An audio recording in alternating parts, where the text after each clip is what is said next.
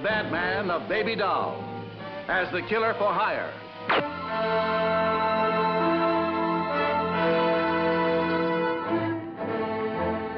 With the whole eye-stopping city of San Francisco as the background for the first feature-length lineup manhunt to hit the big-size movie theater screen. Well, the bag belonged to a man named Dresser, Philip Dresser. He came on the Ansonia this morning. Philip Dresser? Why, he's one of the richest men in California.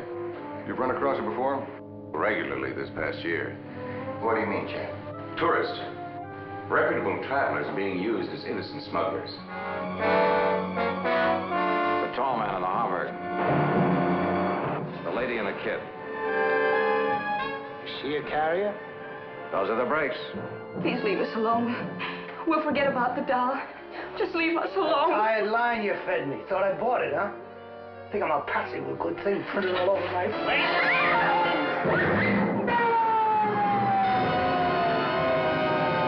The never-before-told super chase crime hunt story 30 million loyal lineup fans have been waiting for. Too big, too hot for TV, hitting with police file impact.